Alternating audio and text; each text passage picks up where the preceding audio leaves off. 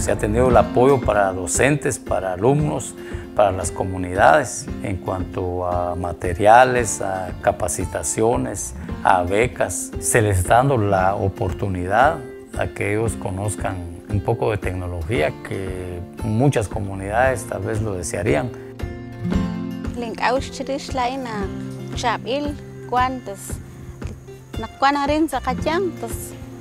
شو تقون جين تقون لائن تقون أحكي لين كاتين تسعة خون شابي لحكي جبكي لائن بكمان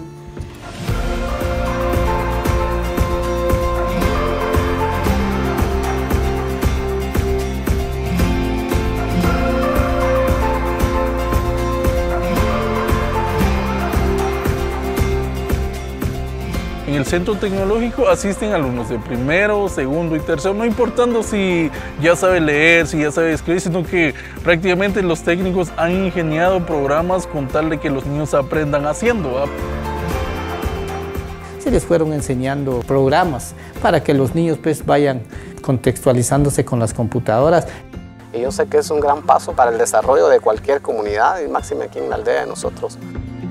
Los niños tienen esa posibilidad de realizar sus investigaciones por su cuenta. Eh, a mí me gusta usar la computadora para que voy aprendiendo y para que no voy a quedar hasta atrás, sino que vamos a seguir para adelante. Cuando vienen los patojetos los enseño lo que ya aprendí yo para que juntos vamos a aprender. Prácticamente estamos viendo el impacto, el cambio, tanto hacia nosotros los docentes como hacia los alumnos. Gracias a Renace que nos da apoyo, nos está ayudando a manejar la computadora.